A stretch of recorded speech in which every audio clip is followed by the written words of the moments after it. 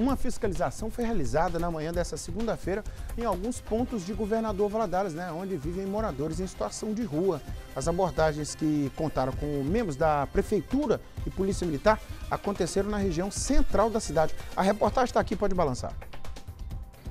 Com o objetivo de fornecer ao município e instituições locais informações sobre a realidade dos moradores em situação de rua, servidores da Prefeitura de Governador Valadares, com apoio da Polícia Militar, se concentraram em um ponto da região central para realizar abordagens ao público.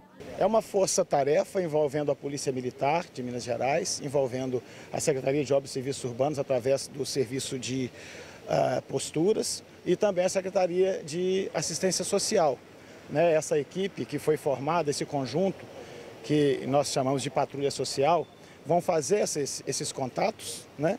dialogar com essas pessoas, levantar suas informações, informações pessoais, ajudá-las no primeiro momento, né? com é, identificação, documentação, o que nós pudermos fazer de imediato será feito, encaminhamento para a saúde, mas o grande objetivo mesmo é termos esse banco de dados, esse conjunto de informações que nos ajudem a ajudar. De acordo com o secretário, pelos dados preliminares, há aproximadamente 700 pessoas que moram em situação de rua na cidade. O número de pessoas em situação de rua em Valadares ele é variável.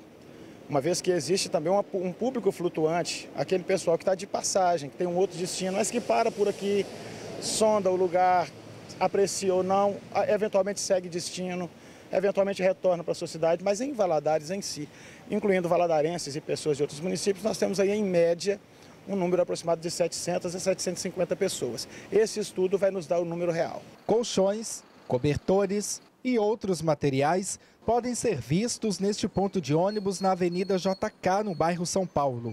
Na mesma calçada, a situação é semelhante. Os pedestres precisam se desviar para não pisar nos materiais. O dono parecia dormir em pé. Do outro lado da avenida, funcionários de uma loja retiram o lixo posto na calçada pelos moradores em situação de rua. Já na área central, um dormia tranquilamente na porta de uma loja. O secretário explica que existe um centro de acolhimento para esse público. Nós temos o Centro POP, que é, é, é, está ligado à Secretaria Municipal de Assistência Social.